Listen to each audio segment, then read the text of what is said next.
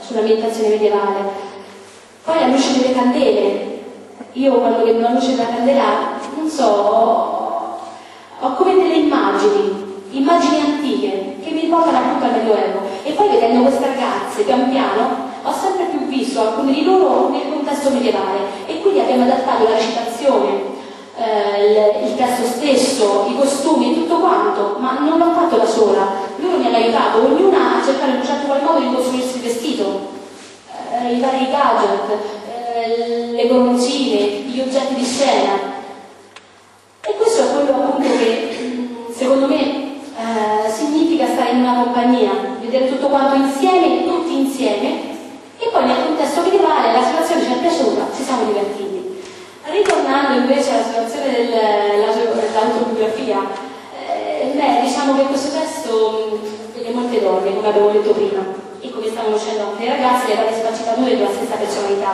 Io mi sento vicina a ognuno di loro e credo che vedendole eh, durante il lavoro, appunto, mi sono ritrovata in ognuna, in ogni loro atteggiamento io ho uno stile di regia abbastanza particolare, nel senso che do loro delle piccole direttive ma non dico mai tutto quello che devono fare, perché ho un punto di regia così diverso. Non mi piace essere dittatrice, autoritaria, non mi piace imporre la mia arte, perché loro hanno la loro arte. E pian piano ogni giorno vedevo tirare fuori da loro quello che avevo nella mia mente, ma senza dire loro quello che volevo. È questa la cosa, la magia che pian piano mi mandava sempre più avanti.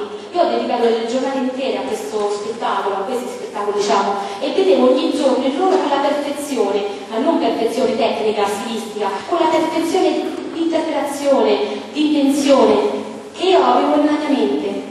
Ma ogni giorno mi proponevano qualcosa di diverso. Ad esempio, l'alter ego, la Bernarda, ogni giorno tiravano fuori una parte diversa di se stesse e poi hanno messo insieme tutte queste parti e le hanno racchiuse nel loro personaggio.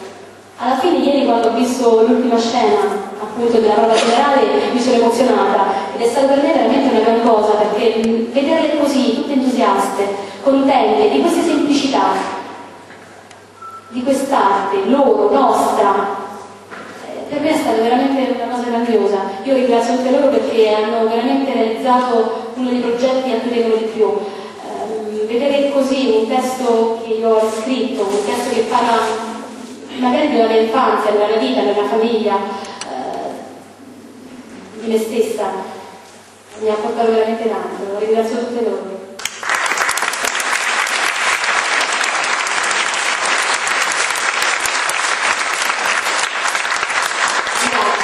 Grazie a voi e per terminare diciamo, questa conferenza vorrei ricordare appunto una frase di Lorca Beh, come avete capito, noi siamo artisti. Il nostro intento è quello di creare un'atmosfera di scambio e confronto portando l'attenzione appunto su queste situazioni sociali, sulle situazioni della politica anche, pur essendo però al di sopra delle parti.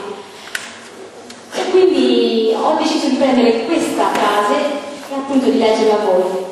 Il teatro è uno degli strumenti più efficaci, più utili per l'edificazione di un paese, un barometro che ne registra la grandezza o il declino, un teatro avvertito e ben orientato a tutti i livelli, dalla tragedia al vaudeville, può trasformare in pochi anni la sensibilità dei popoli. Il teatro è una tribuna libera, nella quale si possono portare alla luce mediante sentimenti le leggi eterne del cuore dei sentimenti umani. Io credo che tutti quanti dovrebbero essere un po' più sensibili al teatro. Il teatro è sensibile a voi.